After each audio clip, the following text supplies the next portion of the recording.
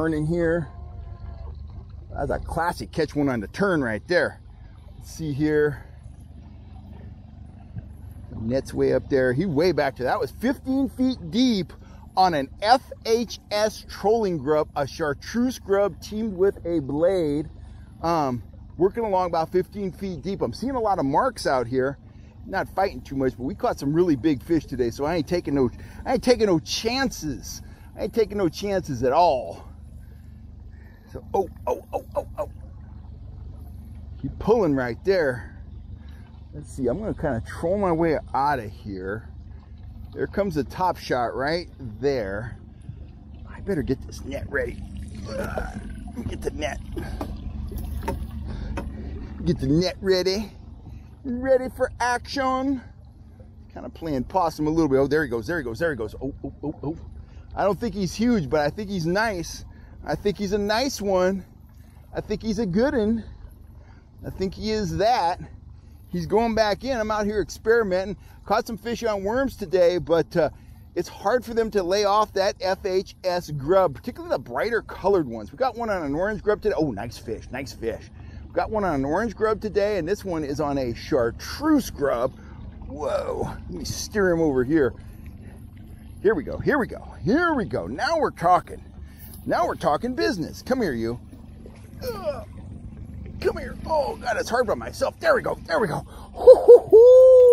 On the grub.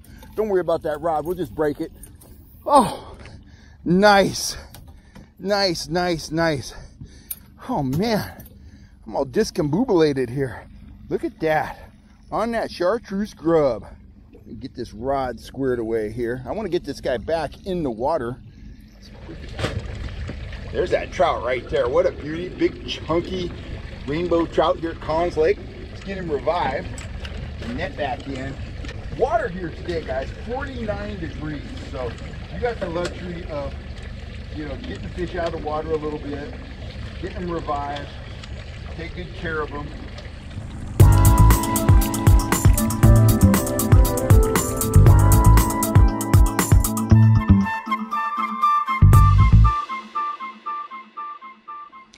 Guys, welcome back to the channel.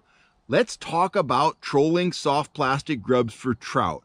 Um, grubs are hands down one of the most versatile baits you can employ. Whether we're talking about, you know, bright colored three inch grubs like that, that's pretty much the standard length. Um, bait fish colored three inch grubs or key tiny micro grubs like this, grubs are just flat out trout killers. Now, I fish grubs quite a bit but I don't think I fish them enough. That's how deadly grubs are. Uh, we've already landed a 10 pound fish this season on a bright red FHS grub. We had that teamed with a mini willow leaf dodger.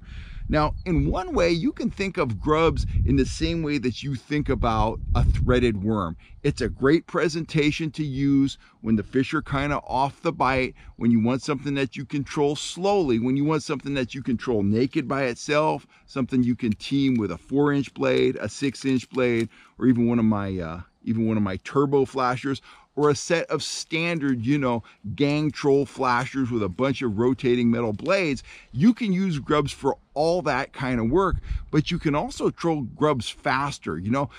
Hands down, my target speed with grubs is about 1.8 miles an hour, but uh, you could take them all the way up to three miles an hour. The grubs are effective because well, when a fish bites them, they're soft, they're realistic, they feel like a bait fish, they feel like something that the trout wants to hang on to. That's one factor. Um, they work very well with scents. They absorb scent, they hold on to scent very well. Coat a grub with um, Pro-Cure Super Gel, it's staying in place. It adds that scent dimension to the bait.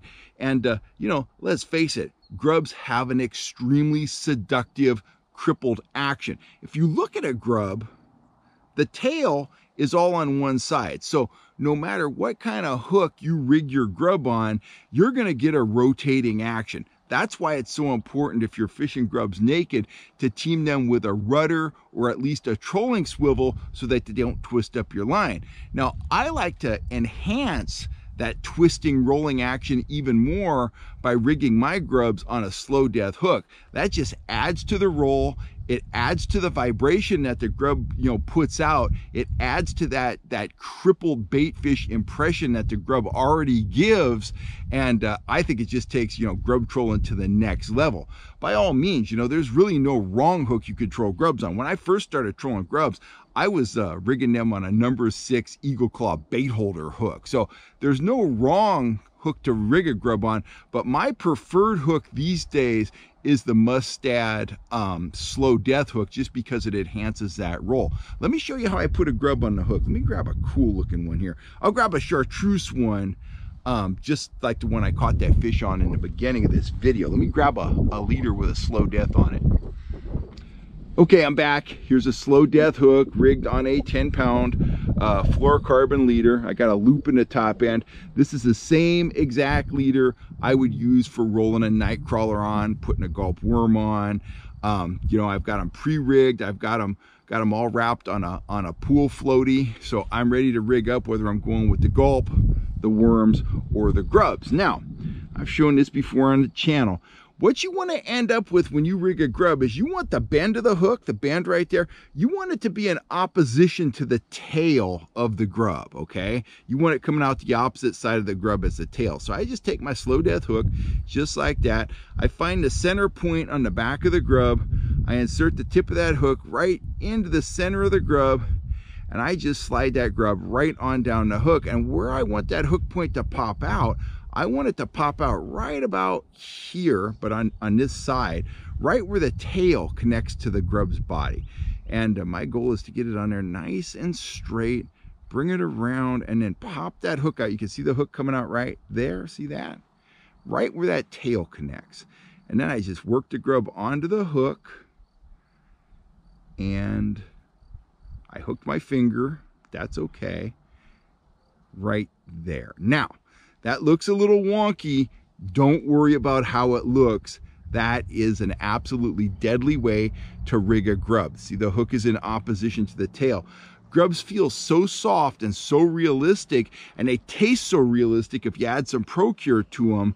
When the trout comes in, it feels like something to eat, and they just suck the whole bait in, and you typically get a really good purchase with your hook. You've got an open uh, an open bend hook like that, a J style hook, not a treble hook. So you're getting maximum hooking and uh, lots of times you'll land a very high percentage of the fish you hook on grubs as compared to the number of fish you land on spoons or Rapalas or something like that that has treble hooks which have a, a smaller bend. You know, I always say a J hook like that, it's going to land more fish than a treble hook. A treble hook may, may hook more fish, but the J hook is going to put more of them into the net. Um, that's really about it as uh, as far as grubs go. Um, actually, though, we should talk about one more aspect, and that is color. And uh, you know, my my philosophy and your philosophy may differ from mine, but my philosophy is I always start off with the natural stuff. Let me grab my grubs again here. So there's the grub on the slow death rigged up.